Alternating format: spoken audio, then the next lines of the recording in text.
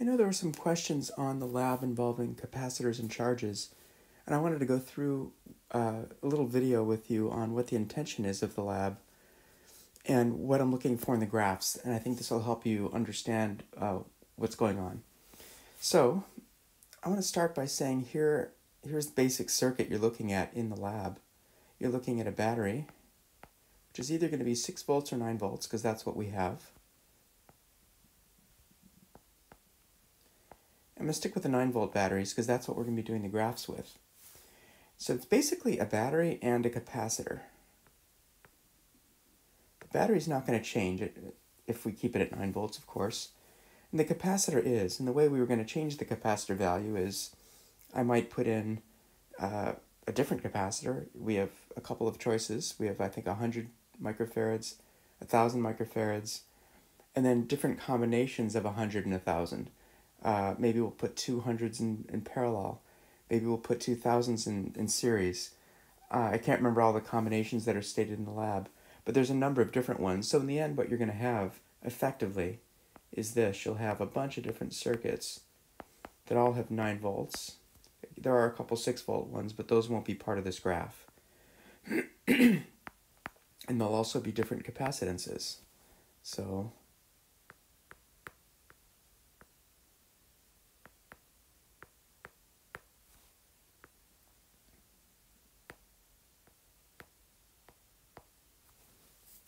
etc. There's a bunch of them. So what we're interested in is how uh, do these different capacitances uh, affect what's happening in the circuit in terms of how much charge is stored on the capacitor. That's really what we're interested in, is the charge stored, which is hard to measure, as I mentioned in class. It's not a direct measurement. It's hard to measure charge, but we can measure current. So the way we're going to do that in the circuits we have, we're basically going to have a switch that switches the circuit from being connected to the 9 volt battery to being connected to a, a meter, an ammeter, which is going to try to measure the charge. It does, the ammeter, you know, does not measure charge, it measures current. That's what it's de designed to do. Ammeter stands for ampere. The am is, is reference to the current measurement.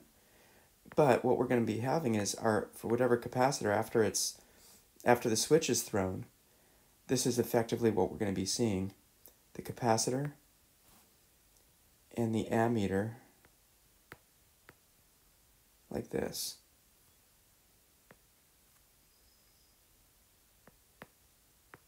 And so what's going to happen is this charge in the capacitor is going to rush through the ammeter re relatively quickly. Uh, the ammeter looks like a wire to the capacitor. So it's kind of like a very low resistance resistor. So the RC time constant for this circuit is very small. That's not the focus of this lab, the RC time constant. But just know that this current is going to be a short-lived current. So the ammeter is going to spike. It's going to show a value that is uh, related to how big this current is. And basically what what this lab is, the premise behind this lab is the bigger the charge on this capacitor here, the bigger the current that's going to flow during that brief interval of time. And so the idea is the size of this current is proportional, so the symbol for proportional, to the charge on the capacitor. That's kind of the point. We're not actually measuring the charge, but we're measuring something that we think is proportional to the charge. So if you have a charge that's five times uh, on one capacitor what it is on another, then you'd expect the current to be about five times bigger when you're measuring it in this way. so that's the premise. Then what I'm asking you to do is to try to relate the capacitance to this charge on the capacitor which we're measuring by the size of the current.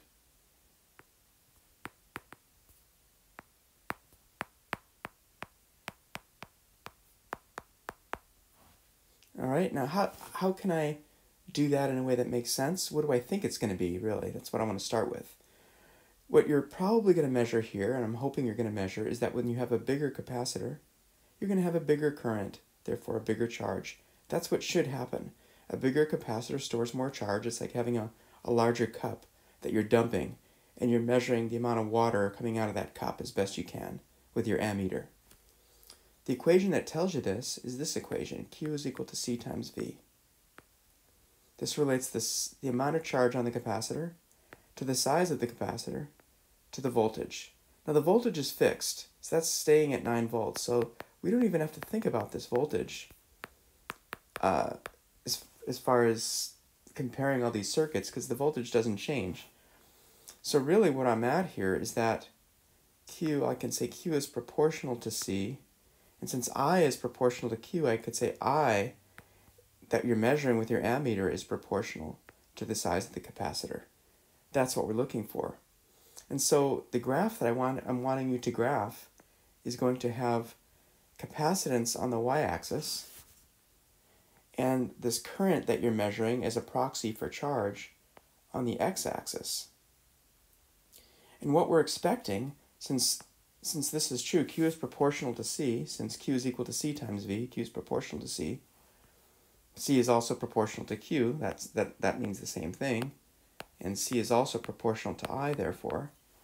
What that means is that I would expect that for a larger capacitor, I should be getting a larger current or larger charge. And you're, you're going to be repeating this experiment for different values of capacitance, and therefore you should be seeing different currents coming through your ammeter. And when you plot the capacitance on the y-axis versus the current that you measure, the average one, you repeat it 10 times because it's not, it's a difficult measurement to get very accurate because the, the ammeter may record different values each time. It, it's kind of like a flash thing that's coming by it. So that's why I'm asking you to repeat each measurement 10 times. So once you repeat it 10 times, you'll have a given data point that is indicative of the average of those 10 measurements. And of course, you also have a standard deviation, which tells you how much variability you have in there. That kind of gives you an idea of how accurate your, your graph is. But the main thing really is to look at the average value and to see if those average values seem to line up on a line. And that line you could use to predict what the value of the capacitance is for any current that you measure in this type of circuit. Let's say you put in a completely different capacitor and you try this experiment, you measure a certain current, and you don't know what the value of the capacitance is, by measuring the current, you could figure out what that value of capacitance is by looking at this line and figuring out uh, where the capacitance would lie on that line for a given value of current that you didn't have maybe when you made your original measurements. That's the idea behind this. It's, it's really creating a model for what the value is of capacitance for a given current measurement in this setup. I hope this helps you, because I did get a few questions about this lab, but uh, I'm certainly happy to entertain further ones, but please, uh, well, I'd say please watch the video, but you already have if you've made it this far. Okay, see you in class.